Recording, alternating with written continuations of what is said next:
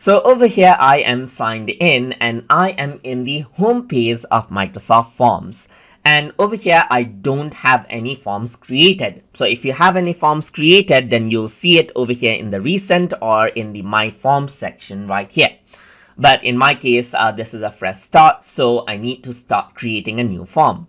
And in order to create a new form, on the top left hand side, you can see that new form button is an option. So if you were to go around and click right here, then what happens is that a new form is created. A new form is loaded out as you can see right here.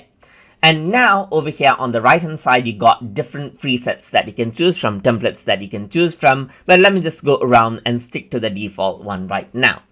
And in order to start creating this form, you need to add in a title to the form and add in description as well. So over here, you can see that untitled form uh, is written. And if I were to go around and click it like this, you can see that I can simply go around and uh, type in the uh, title of the form as I like. So I can go around over here and say, let's say for example, tutor tube example form right? Here just like this so you can see that that is the title. And if I were to click outside you can see that um, now the form uh, title has been changed.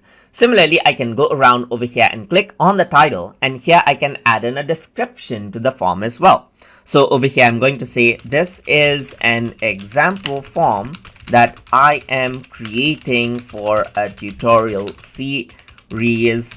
Learning uh, not learning but uh, let's say tutorial series Microsoft Forms uh, Microsoft Forms tutorial series right here just like this. So I'm just going to go around and say this is an example form that I'm creating for a tutorial series called Microsoft Forms tutorial series just like this. And if I were to click outside now you can see the title right here and the description as well if I were to go around over here and select out the title right here, you can see that I can also go around and format out the titles according to how I want.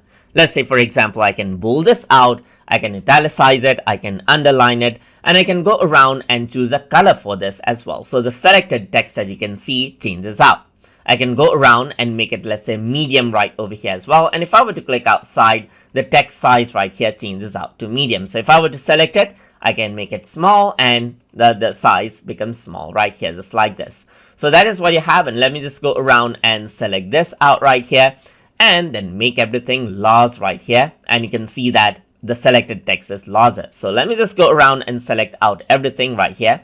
Let me just select the tutor tube and then make it large. And then for the example form, I'm going to go around and make it small right here. Similarly, for the description as well, you can go around and select out, let's say, Microsoft Forms tutorial series, and then you can go around, choose out a color for it, and then choose, let's say, large, medium, and small. So let me just go around and make this large while uh, the others right here remain as it is. So click outside, and this is what you have, as you can see. So you can go around and then turn it into points as well. For example, I'm going to go around and press enter and say in this tutorial series, you will learn, uh, just like this, how to make forms, um, manage forms, and then let's say, for example, uh, conduct surveys right here. So if you want to turn it into points, you can select these out right here and select 1, 2, 3 to make a numbered list right here just like this. Press enter to add in more numbers as well